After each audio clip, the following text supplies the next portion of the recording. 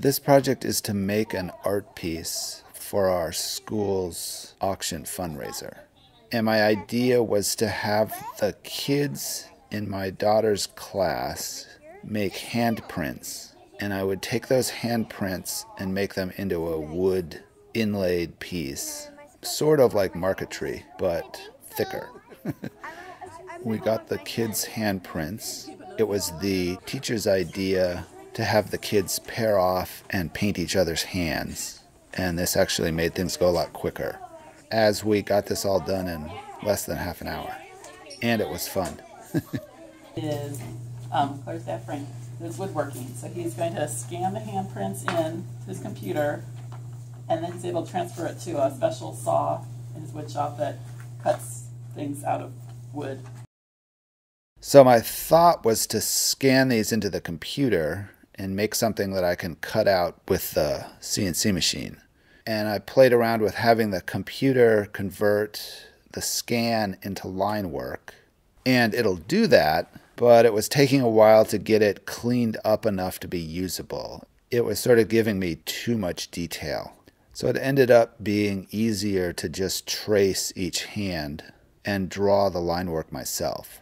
And I could go in and, and fix where it wasn't wasn't quite the same as the print. And this would give me smoother curves and bigger curves as I can't get into anything tighter than an eighth of an inch diameter. So once I had each hand drawn, I could make the G code to run the CNC machine from that. So I needed to make the actual piece. What I came up with for an overall idea was to do an abstraction of flowers growing in front of a fence where the handprints are the flowers. So what I'll make first is the fence, which will be the background for the handprints to sit on or sit in. so in making the fence, I wanted to have the pickets be lighter then make a, a darker wood strip for the space between the pickets so that it would read as a, as a pattern of a fence. So the pickets are Khaya wood, and I found some really light pieces of that. Then the space between the pickets is walnut. And I wanted to make a little detail of the structure of the fence that runs behind the pickets. So I glued a piece of darker Khaya and walnut together. And that would make the little bit of fence structure and the little shadow falling on that structure behind the pickets. So these are the walnut pickets.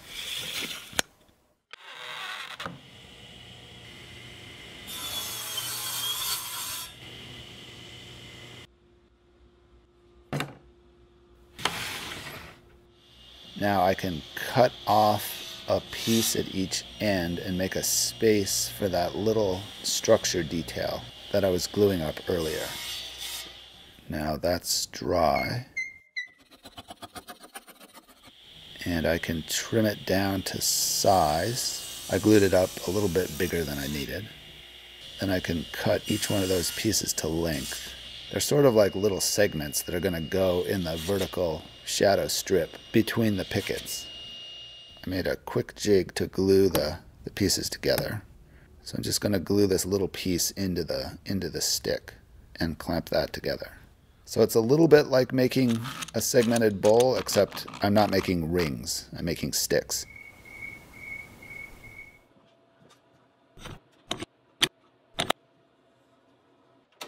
I can joint those smooth.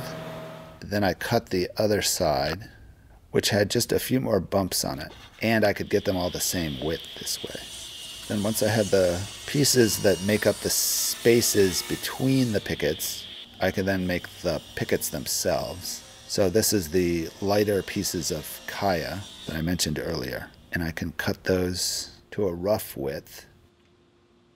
Then I set up a quick stop, and I can cut a bunch of lengths of this, which will make the pickets. Then I can cut them to a final width. It's a little easier to get them all the same when they're shorter. Now you can see how the pattern works. So there's a picket and then there's a space. And that'll make a section of fence. Since I had so many pieces to glue, I did it in two halves. So I did one one side, clamped that together, then, then did the second side, and then clamped the second side to that first side. So I didn't have so many strips sitting there waiting to be clamped with glue in them. And it seemed to work. Then I had my background. And I cleaned that up a little bit. A little glue scraping. and it's over to the CNC machine. So I set up a zero zero point, an origin that I could always come back to on the panel. Then the first thing to cut are all of the stems for the flowers. So I cut a bunch of arced lines into the fence pattern. And I cut these with an eighth inch bit. So to fill the slots, I had to cut a bunch of eighth inch wide strips. And I did this in walnut, so they would read against the lighter fence pickets. I started in on the first one, and I realized I was going to have to cut these to length and I didn't want to have to walk over to the radial arm saw or over to the table saw for each one that I was cutting. So I made a little miter box so that I could just cut these by hand. And this worked really well. And I could make the miter box work perfectly with the strips that I was making. And the end of these that I was cutting didn't have to be perfect, as I'm going to trim off the end altogether when I'm done but I just didn't want to break off the end or cut it with a big pair of scissors or, or do something kind of crunchy. so it worked well to just do it by hand really quickly. And all those went in pretty well. Then I started cutting out the pockets for the hands. And I did these in batches so that the hands on the top are the furthest back and as the hands come down, they're also coming forward, as the hands that are lower will tend to overlap the hands above. That was just the rule that I came up with for the piece. So once I had some of the pockets cut out, I made the material that I was going to then use to make the hands. So what I needed were thin, flat, fairly wide pieces of different colored woods. And with the with the hands and the flowers, I just wanted a lot of color. So I, I found all of the colored wood I could find.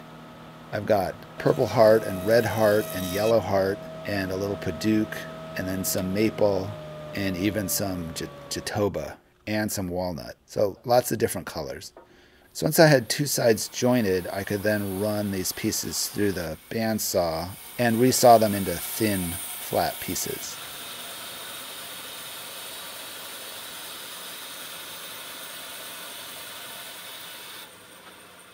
Then I could plane them all to be the same or fairly close to the same. And there were a few that weren't going to quite be wide enough, so I glued them together to make a wider piece, kind of doing a book match thing. Then I could start cutting the hands out. Now I've seen where when doing a cutting board or when I've seen other things like this, they're often cut with a with a 3 degree angled bit so that you get a little bit of a taper on the sides, which makes sense because as you, you push the piece into the hole, it gets tighter and tighter. But for these, I just did a vertical cut for now. I, I think at some point I need to figure out the, the angled side routine. Now I found after cutting these, they oftentimes weren't quite ready to go in the holes there'd be a little burr or there'd be a little patch that was fuzzy or something. So they needed a little work. Also, some of the tight inside corners needed to be rounded down a little bit as they weren't quite fitting into the inside curve of the piece. And I think this is the first time I've used a brush to lay down glue.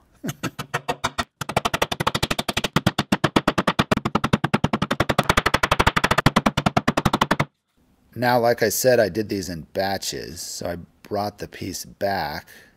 I did it this way so that the, the hands in the next batch would overlap the hands that had been done previously.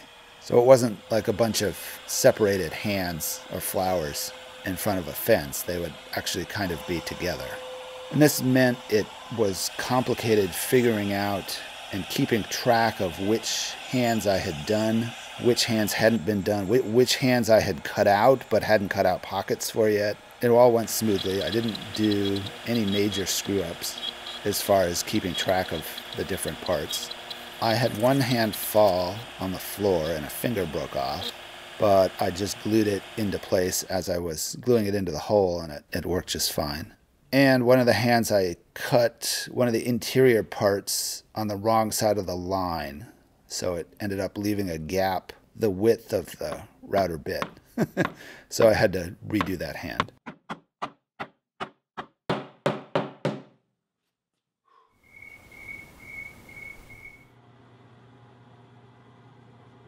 So once all the hands were in, I could take it back to the CNC machine and flush trim the top, or face trim the top. I kept thinking this was a little similar to segmented wood turning, where this is the wood turning part, where you sort of take the, the blob of wood bits that you've glued together and you trim it all up and you sort of cut off the lumpy bits that, that, that you don't want. In concept, this is sort of the wood turning section of the project except it's flat.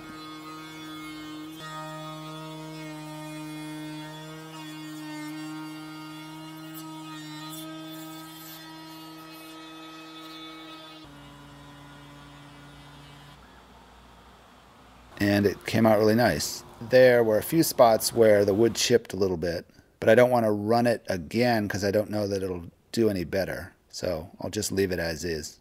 But it looks really good. And I think for now, I'll sand it and call this video done. And I think what I'll do is the next video, I'll cut down the edges and make a frame for this and put the finish on.